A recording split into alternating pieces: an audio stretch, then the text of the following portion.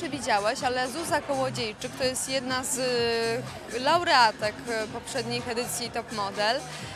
Na swoim kanale na YouTube zamieściła obszerną, y, obszerny odcinek, w którym opowiada o, o programie z jej perspektywy i mówi o tym, że jej zdaniem program tak naprawdę służy mm, takiej sławie na 5 minut, ale niekoniecznie mm, to jest to, co się dzieje w świecie mody. Krótko mówiąc, ona mówi, że niewiele konkurencji, które są w programie, mają wspólnego z tym, e, co wymagane jest od profesjonalne, profesjonalnej modelki czy modela.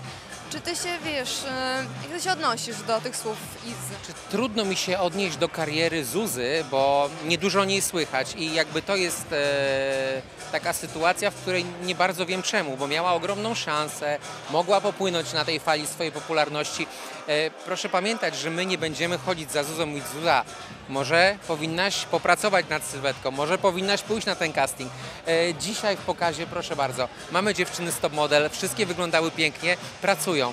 E, wystarczy poobserwować Instagramy osób, które, które są w naszym programie, które, które, które mają, mają taką misję do spełnienia. I tak naprawdę, e, powiem szczerze, jest bardzo proste przysłowie. Chcieć to móc.